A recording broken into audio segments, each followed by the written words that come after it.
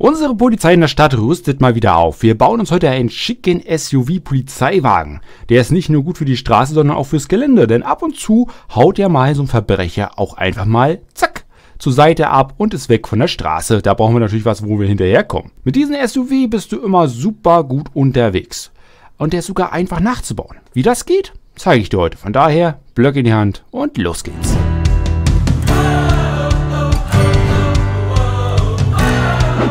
Dann schauen wir mal, was wir heute so brauchen. Also erstmal wieder ein bisschen schwarzen Beton, glatte Quarztreppen, einen Trichter, Steinknöpfe, Schmelzofen ist dabei, blauer Zement, hellgrüner und weißer Beton. Dann noch ein bisschen schwarzes Glas. Man kann natürlich auch andere Farben nehmen, wenn man möchte. Und dann beginnen wir erstmal mit den Rädern. Unser Wagen hat einen Abstand oder eine Breite von drei Blöcken. So, dann setzen wir erstmal die Vorderräder, zwei Blöcke Platz lassen, dann kommen schon mal die Hinterräder. Nehmen wir dann gleich mal unsere Quarztreppen, die können wir einmal dazwischen schon mal setzen. Auf Vorder- und Rückseite setzen wir die natürlich einmal umgedreht drauf.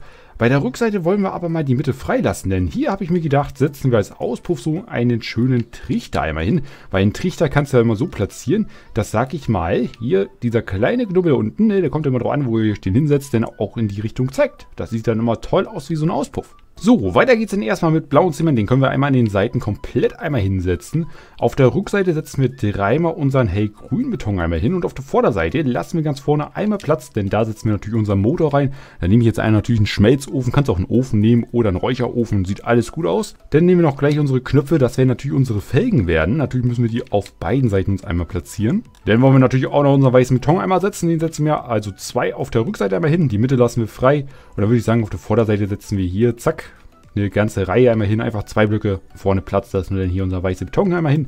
So, jetzt nimmt ihr mal euer schwarzes Glas, das könnt ihr hinten einmal hier komplett einmal so platzieren. Auf der Vorderseite setzen wir nur eine weitere Reihe hin. Jetzt holen wir uns nochmal ein bisschen Kleinzeug einmal raus, ein bisschen hellgrüner, blauer wie grauer Teppich, ein Redstone-Verstärker, davon den Vergleicher noch gleich, denn ein Birkenschild, dann holen wir uns noch einfach mal ein paar schwarze Knöpfe raus, Stolperdraht, Haken und einen Birkenschalter. So, jetzt verbauen wir erstmal den Teppich. Wir fangen auf der Motorhaube an. An den Seiten setzen wir mal den hellgrünen hin, in der Mitte den blauen.